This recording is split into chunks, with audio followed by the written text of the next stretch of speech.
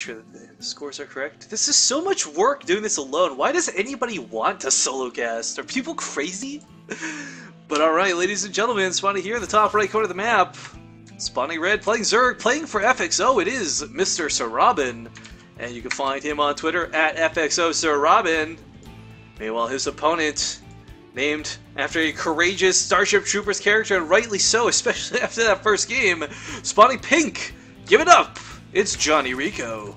And of course, there's his Twitter handle as well.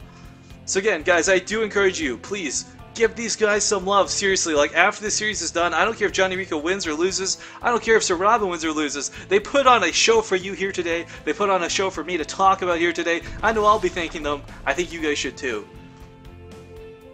Nothing like cooking sausage at 6.30 a.m. says Jazzbot. Man, that is sounding so good to me right now. But alright, Johnny Rico and and Mr. Sir Robin. Again, clash of two, well, I, I guess you can't really call them titans.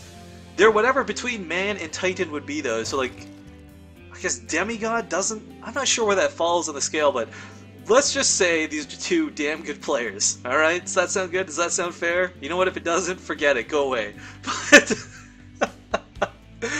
yeah, I mean, I, I feel Sir Robin made the right moves, especially towards the end.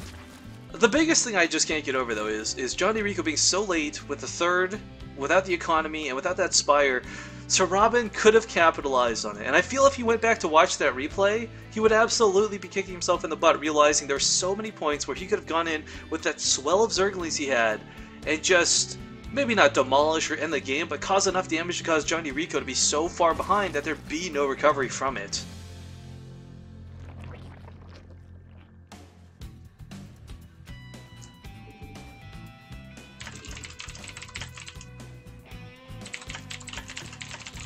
Sorry, just type in the chat here, give some love, some like compliments, because I'm not good at taking them.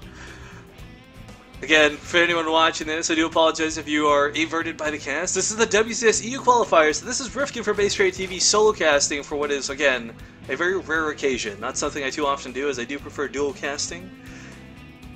Uh, yeah, so Robin, I gotta say, Johnny Rico does this every game I've ever seen him play. He puts a spawning pool right next to the extractor, which I find quite interesting, because in a lot of ZVZ matches, I've actually seen players on purpose position the spawning pool one grid mark away from the hatchery. This allows you to nestle the queen in between it and severely limit the surface area in which Zerglings can connect, while allowing you to keep your injects quite, I guess, pristine, as it were.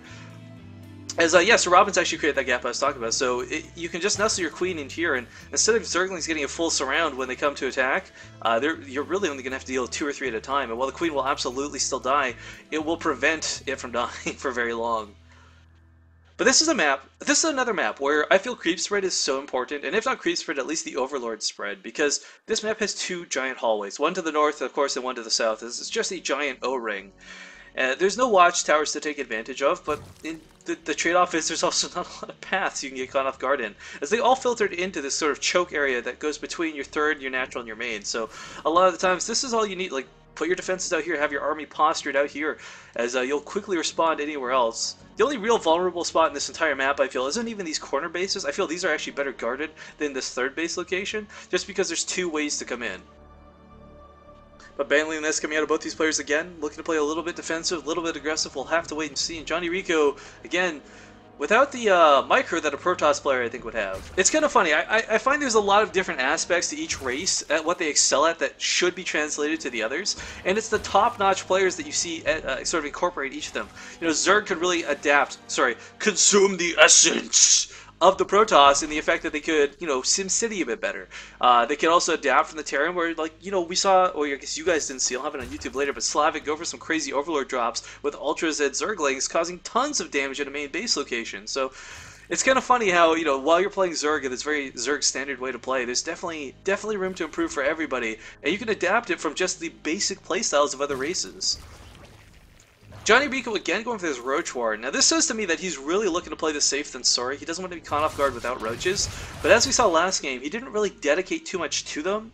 Yes, they eat some gas, and quite frankly, a lot, in my eyes, too many minerals for the effectiveness that they carried throughout the last game. But you got to keep in mind, he got in there to the third. He picked off not only the Queen, but a couple drones. But yeah, in the end, ultimately, they were just kind of squashed by the Mutalisks. Uh, Curiosity in me says both players a little bit even on gas. So Robin just ever so slightly going to be ahead, but their Lair already starting. But he has, in the you know, despite having the gas earlier, invested 100 into this armor upgrade. So that's one less Mutalisk on the field. And as silly as it is, one less Mutalisk can make the difference in a fight. Now, looking at this, we got a lot of roaches, so Johnny Rico, forget what I was just talking about, folks. By not going for Lair first, he's just going to go straight aggressive with these roaches. And wow, that certainly went flying! I love the ragdoll physics mechanics in Heart of the Swarm. That is one aspect of this game I will absolutely never get bored of. But Roach is coming across the field. I love this too. He chased the Overlord off. Guys, this was on purpose. This wasn't a Queen auto attacking out of boredom. He chased the Overlord off so that Sir Robin would have no idea this was coming. And quite frankly, he won't until it's too late, I fear. Johnny Rico following this up with a ton of Zergling aggression. Lots of Banelings coming in. Johnny Rico is going to get scouted, but the Roaches will keep the Banelings alive. And Sir Robin... Uh, I'm just trying to think like that Monty Python song, like Brave, Brave Sir Robin tucked his hands and like turned away or something. But why is my mouse not doing? There we go. Sorry, mouse freaking out, making me angry. Johnny Rico looking to end this game really quick. So many roaches, so many banelings, everything's filtering through, but these banelings gonna connect to Johnny Rico's roaches don't actually do that much damage. And look at the main base. What is here but a ton of banelings coming out of Johnny Rico, connected to so many of these drones. What is happening right now? As corpses go flying left and right, surrounded with a beautiful spread trying to limit the damage coming next, but Johnny Rico with too many roaches. Ladies and gentlemen, a very quick, non-Mutalisk GG coming out of Sir Robin as Johnny Rico takes game two and does advance in the WCS qualifiers.